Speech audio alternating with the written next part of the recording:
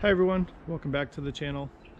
Uh, I know there's been some discussions on some of the forums about how to unwinterize your 12 SRK. Um, my winterizing video has been pretty popular, so there's been some requests for an unwinterizing video. However, here we are, March 27th, uh, 2022, and um, yeah, we still have winter here in Michigan. Uh, you can see behind me, there's our 12 SRK, still covered up. It's currently snowing and it's about, uh, I don't know, with the wind it feels like it's mid to low 20s today. So I'm not going to be unwinterizing anytime soon. So I thought just to put out some content um, while it's still winter and I'm thinking about unwinterizing, I checked our lithium ion battery today. So I'll do a short video on the battery that we bought last year, why we bought it, and how I've been maintaining and monitoring it over the winter uh, and getting it ready for spring. Okay, here we are indoors now. It's a little bit warmer. And uh, I wanted to talk about the lithium ion battery that we upgraded to last year. After the first two outings, we were very disappointed with the lead acid battery, but it came with the camper when we bought it used, so uh, we dealt with it for a couple trips and then realized quick that the uh, 12 volt deep cycle wasn't going to work for us in our boondocking applications. So after a lot of research and watching some YouTube videos, uh, which one of them I will link in the description below, uh, we found the Chins 100 uh, amp hour battery on Amazon.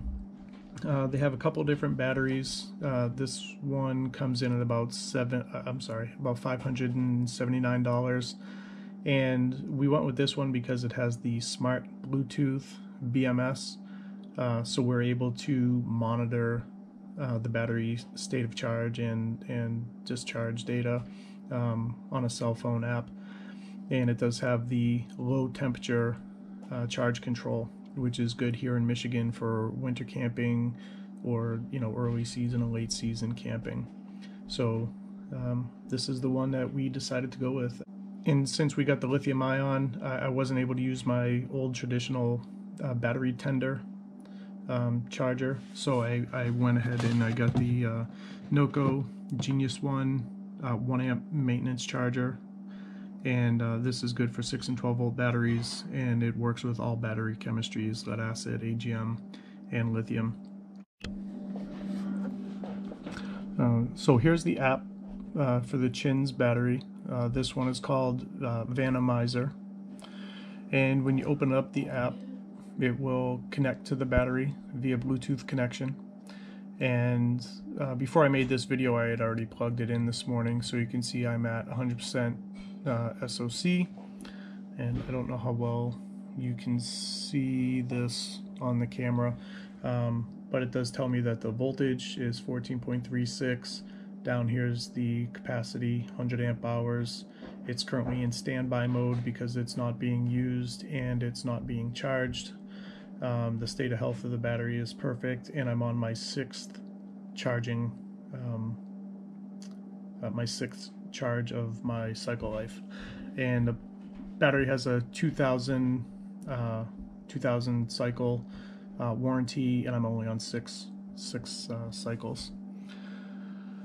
The next screen in the app uh, tells you the temperature of the battery, the voltage, and it tells you the current and I'm neither charging nor discharging so it reads uh, zero amps right now and when I am charging uh, with my Noco 1 amp charger uh, this will read anywhere between 1 and uh, 0.9 amps and when I have it connected to the solar charger I notice there's about a 50% uh, current drop uh, from the solar charger to the actual current going into the battery. So uh, if I have good sunlight and my solar charger is reading uh, 5 amps, I'm getting about 200, uh, 2.5 amps at the charger, uh, at, at, the battery itself. So there's about a 50% current reduction. Uh, I don't know what's causing that. I don't know if it's the length of wire um, between the the charge controller and the battery um, but just so that you're aware, when you're reading 5 amps at your solar charger in the 12 SRK, you're only getting about half that at the actual battery. um, just something to be aware of. And then the third tab in the cell in the uh, app, uh, it gives me the cell voltages um, of each individual cell in the battery. And it's important to check these uh, because if there's too much variation in your batteries, um, in if there's too much deviation in your cells or, or variation in your cell voltage, uh, you could have um, a, a, dead cell or, or problem with one of your cells. So you want to make sure your cells are balanced. So that's the that's the app. Uh, that's the information uh, that you can get monitoring with your phone. Um, I find this handy. I don't know. I kind of just like to look at the data and, and know what's going on. So this is the app uh, that comes with the the Chins battery.